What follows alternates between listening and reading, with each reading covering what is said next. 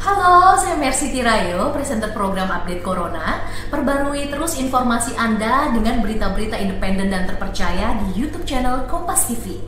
Jangan lupa untuk subscribe, like, dan komen, serta aktifkan tanda lonceng untuk mendapatkan notifikasi berita-berita terkini. Kita beralih ke perkembangan kasus malpraktik kecantikan. Polisi menangkap pemasok cairan suntik ilegal untuk perempuan di kediaman di Batam, Kepulauan Riau. Nah inilah banyak kali nih kan. Dari mana? Nah mereknya ini nih. Pelaku merek- berinisial ML ditangkap di kediaman pribadinya yang sekaligus digunakan sebagai tempat penyimpanan ratusan botol cairan silikon. Polisi menyita 240 botol cairan silikon industri tanpa merek dan izin edar. Diduga cairan yang sama digunakan pelaku penyuntikan ilegal yang telah ditangkap polisi di Tangerang Selatan pada hari Senin.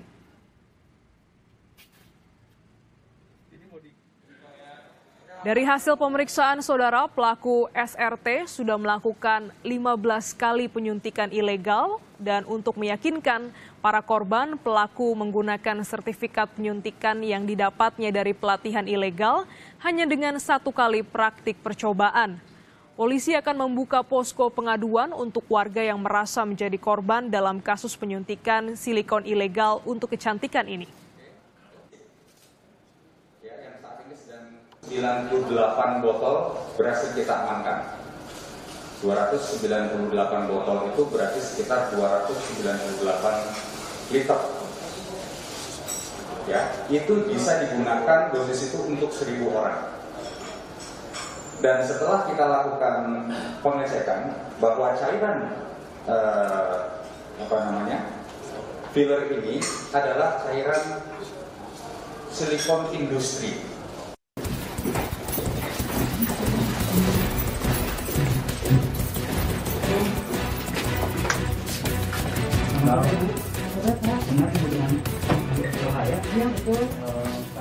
Perempuan ini tak berkutik saat kediamannya disambangi unit Krimsus Polres Metro Jakarta Barat.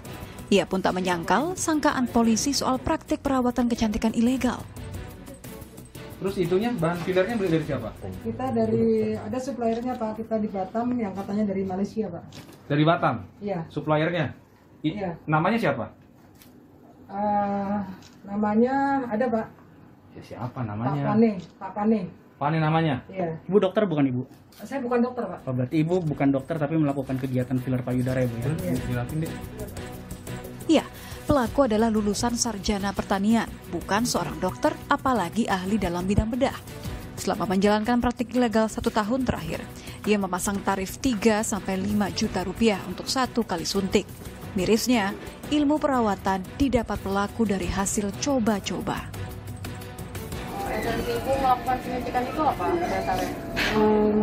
Pengalaman pribadi, terus kemudian saya juga sempat kursus kursus bagaimana cara menyuntik ke sebuah salah satu yang bilangnya dokter ya dan saya punya apa semacam sertifikat lah gitu kalau saya sedang eh, filler tersebut Praktik legal ini terungkap saat dua perempuan melapor ke polisi karena merasa menjadi korban kegagalan praktik perawatan kecantikan yang dijalankan pelaku.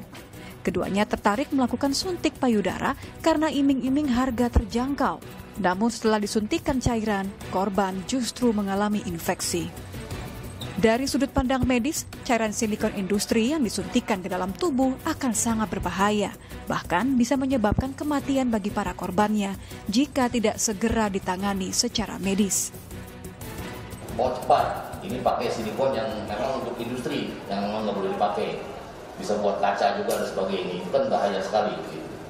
ya. Dan bisa sampai ke kematian itu iya kalau nggak cepat ditolong infeksi ya repot itu ya apalagi saat-saat begini nih lagi pandemi orang infeksi gampang benar ketularan untuk covid itu saya kira ya Pelaku kini menjalani pemeriksaan di Mapores Metro Jakarta Barat dan untuk memudahkan proses hukum, polisi meminta warga yang mengalami kerugian akibat praktik kecantikan ilegal untuk segera melapor. Prasetyo, Kompas TV, Jakarta.